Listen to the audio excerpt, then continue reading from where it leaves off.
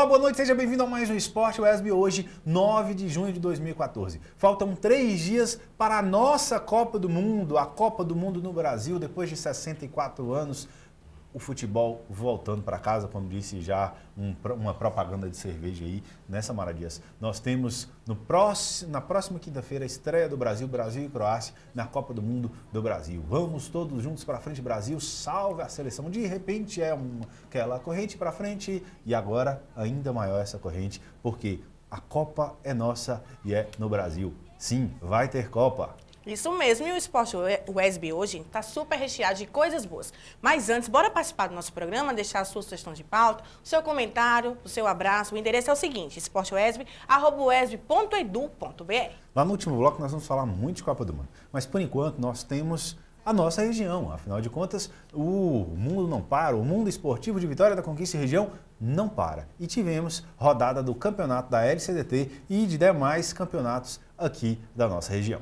É, o Simonato e Santos ficaram no empate pelo placar de 2 a 2 na tarde deste sábado pelo Campeonato Municipal de Futebol. No domingo, duas partidas foram realizadas. No primeiro jogo, o Grêmio derrotou o Juventus por 3 a 1. No outro confronto, a equipe do Maru bateu o Cadija por 1 a 0 e é o líder do grupo A. E o campeonato da Zona Rural já tem campeão. A equipe Veredinha venceu o Flamengo da Lagoa das Flores nos pênaltis e levou o título para casa. Mas, infelizmente, o final de semana não foi só de alegria para o futebol amador de Vitória da Conquista.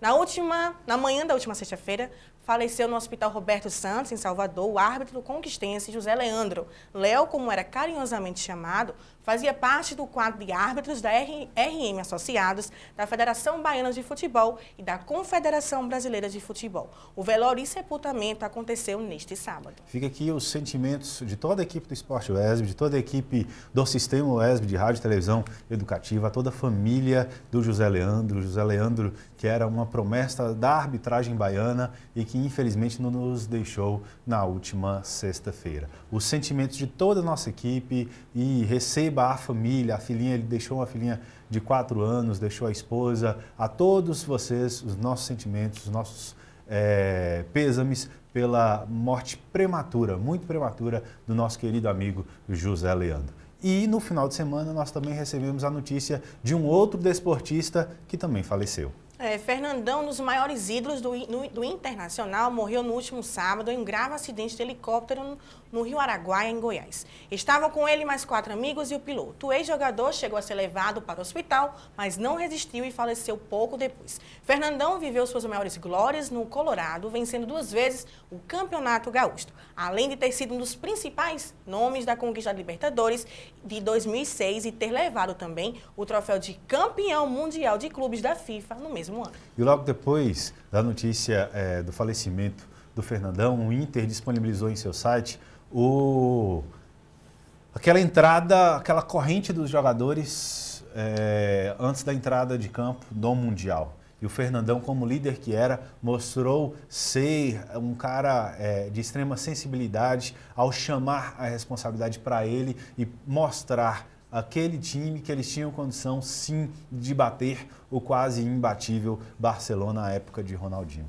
Fernandão, que começou no Goiás, foi para a França, fez carreira na França, voltou ao Brasil, sendo excelente no Inter de Porto Alegre, passou por Goiás e São Paulo, foi técnico do Inter de Porto Alegre, foi dirigente do Inter, seria comentarista do Sport TV durante a Copa do Mundo, mas infelizmente nos deixou no último sábado. Também receba nossas condolências, os nossos sentimentos à família de Fernandão e a todos os, principalmente os colorados. É, nós temos aí famílias de gaúchos aqui em Vitória da Conquista que torcem muito para o Internacional e que sentiram muito a perda do precoce também do Fernandão. Mas vamos de Black Belt Jiu-Jitsu, Samara? Isso mesmo, teve mais uma edição neste final de semana. Confia.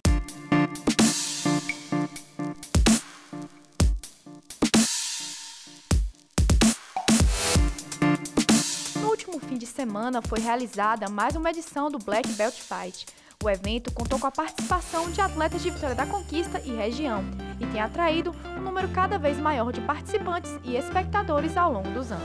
É, o diferencial é sempre a melhora na, na estrutura do evento, né? A gente tenta sempre melhorar um pouco na questão de organização, né? na questão de é, medalhas, premiação e o número de atletas que vem crescendo a cada ano Black Belt Fight vem se consolidando na cidade, por isso tem contado com um número cada vez maior de parceiros. É, não é fácil, né? Os primeiros foram um pouco difíceis, agora a gente já está um pouco mais é, sabendo trabalhar um pouco nessa área. E assim, é, graças, a, a, graças à ajuda de alguns empresários, a gente tem conseguido promover esse evento com sucesso. Então, desde já, eu queria agradecer a todos que apoiaram aí a Copa Black Belt e dizer que esse é um evento que promove o nome da nossa cidade e reúne atletas não só da região, mas de outros estados também. Então, é muito importante, eu acho que está sendo gratificante promover o Black Belt. Mestre Miyagi foi um dos lutadores do evento. Prestes a completar 60 anos e tendo começado no jiu-jitsu desde os 8, ele falou da experiência de lutar com pessoas mais jovens. Para mim é muito bom, uma experiência, eu luto todos os mundiais, luto no absoluto, lutei já o Abu Dhabi, luto os mundiais todos, eu fico muito emocionado e eu lutando, eu acho que os jovens têm mais força de lutar, porque assim eles veem, com quase 60 anos de idade, estou lutando até hoje. Porque assim, eu nasci pro jiu-jitsu, eu não sei fazer outra coisa se não for o jiu-jitsu. Se de um lado tem experiência de sobra, do outro tem novato dando os primeiros passos no jiu-jitsu. O músico Daniel Novaes, que luta jiu-jitsu há apenas três meses, estava ansioso para a sua primeira luta. Eu particularmente tenho pouco tempo, mas estou adorando. Estou ansiosíssimo para lutar, primeira luta também, muito ansioso. Quem também fez sua estreia nos tatames foi a estudante Laiane Barbosa, já na primeira luta garantiu o segundo lugar. A gente fica muito nervosa, muito nervosíssimo, mas a gente tenta acalmar para tentar mostrar tudo que a gente sabe. Micaela Espósito participou pela terceira vez de uma competição de grande porte e revelou que para ter um bom resultado é preciso pegar pesado nos treinos. A gente treina três vezes por semana, aí a gente começa a treinar mais, começa a treinar junto com outros, com os meninos, com as crianças também. A gente tem uma, uma, um treino diferenciado com o professor, a, a gente nós três competimos. O lutador, Ivonaldo Lima, mais conhecido como Dinho, participou de todas as edições do Black Belt e falou sobre o crescimento do evento e de como é conciliar a rotina de atleta, comerciante e pai de família. É um evento muito bom, traz muitos atletas de fora, divulga o esporte, que é um pouco carente em termos de, de, de, de mídia, sociedade e tudo, e mostra que a juventude hoje depende do esporte, da saída, tanta coisa ruim que tem no mundo aí afora, é um evento muito bom para a cidade. Atrai muita, muita, muita, muitas pessoas, crianças, adultos, adolescentes, toda faixa de idade, o pessoal pode vir praticar, que é muito bom. Às vezes a gente chega em casa um pouquinho mais tarde, falha alguns compromissos com a família, mas o pessoal compreende que é para o bem-estar da gente e ajuda até no convívio familiar também o esporte. Quem esteve no Black Belt pode perceber que havia lutadores de todas as idades e também mamães ansiosas torcendo pelo desempenho de seus filhos. É o caso da vendedora Adriana Gomes, que estava na torcida para ver o pequeno Abraão, de apenas 6 anos, dando o seu melhor no tatame. É muito tenso, é emocionante ao mesmo tempo. Eu fico eufórica, fico com vontade de chorar, de gritar, mas é muito emocionante estar é, tá participando com meu filho, né, em todos os campeonatos que está participando. É um incentivo muito bom para ele, como criança. O jiu-jitsu é um esporte importante, pois além de promover a saúde e a boa qualidade de vida, é um importante método disciplinador também uma excelente forma de lazer para os amantes das artes marciais. Sim, é muito importante incentivar as crianças né, estar sempre participando de um esporte como esse. É um esporte que ajuda as crianças a sair da rua, ajuda as crianças a sair da televisão também, é muito bom.